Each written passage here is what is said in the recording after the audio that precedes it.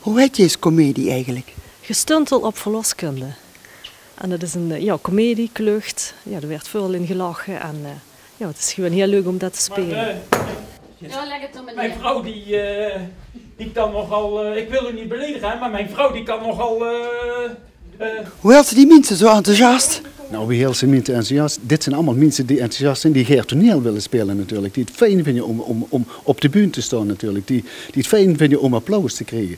Maar het valt niet altijd met natuurlijk om deze club ja, uh, staan het om, om, om continuïteit natuurlijk. Hè. Goed, we zijn een heel kleine club natuurlijk, we hebben heel weinig mensen. We zijn naast op zoek naar mensen. Dus als er mensen zijn die, die toneel willen spelen, die bieden toneel willen komen, heel graag zelfs.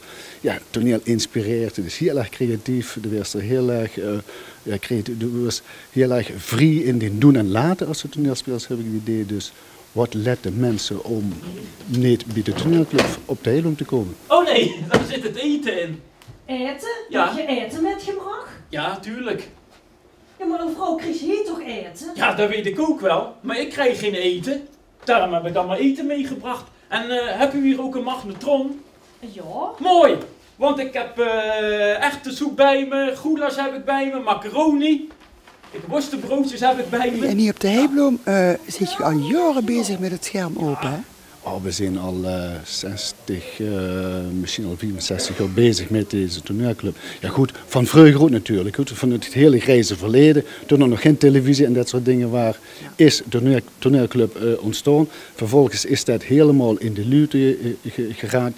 En vervolgens is toneel heel erg actueel en heel erg goed. Joh. En op de Heibloem spelen we nog ieder jaar, kunnen we een voorstelling brengen. Nog ieder jaar. Joh. Kijk eens, wie heeft het de boeken wegtrekt. Niet doe je, niet doe je, de hoofd nog niet goed te doen. Jongen, jongen, jongen. Wat deed het met tegen om toneel te spelen? Ja, dat is heerlijk. Ik doe het al bijna 32 jaar. Zit ik stond al op de plank. En het is heerlijk om in, elk jaar in een ander typetje te kropen. Dan ben ik zwerver, dan ben ik prostituee, nu ben ik zuster, dan ben ik boerin. Nou, dat is gewoon heerlijk om elk typetje een beetje uit te diepen. En uh, ja, daar kan ik me echt helemaal in geven. Ik vind het heerlijk. Ja, heerlijk ontspannend en uh, ja, dat goed. Ja. Ben je iets kwijt? Nee, nee.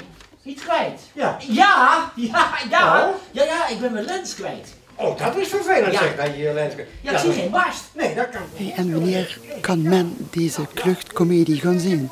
Nou, morgen 5 oktober in de Klokstoel in Heibloem. Er zijn nog kaarten, dus iedereen is welkom.